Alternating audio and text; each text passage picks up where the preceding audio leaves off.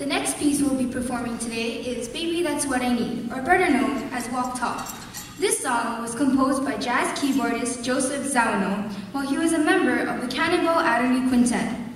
The piece has a gospel-inspired rhythm and blues feel and became a popular number in the quintet's repertoire. This song will feature our guest artist this year. Please, everyone please help us welcome Steve Wiest.